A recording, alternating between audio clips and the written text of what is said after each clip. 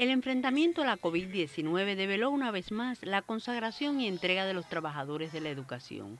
El Círculo Infantil El Mambisito de Bayamo recibió el sello Valientes por la Vida por su labor al cuidado de los infantes para que la familia pudiera laborar en medio de esta etapa difícil. Entre cantos y poesías, recibieron el sello aprobado por el Sindicato de la Educación y el Deporte.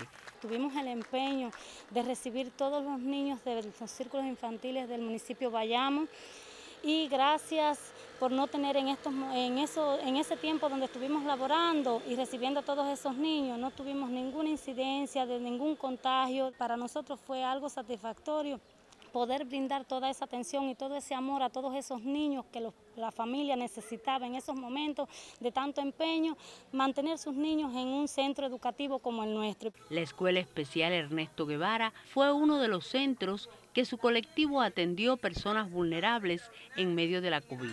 Por tal motivo, recibió el sello Valientes por la Vida. Asimismo, fueron reconocidos trabajadores ejemplares que colmaron de amor y cuidados a personas necesitadas. Cumplimos con una tarea de, haber nosotros acogido nuestro centro como centro de aislamiento a personas deambulantes.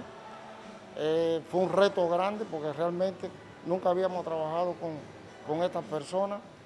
Eh, nos pasamos más de 95 días en Granma son siete centros los que reciben este sello en el marco de las actividades por el Día del Educador. Teresa Armesto, Sistema Informativo de la Televisión Cubana.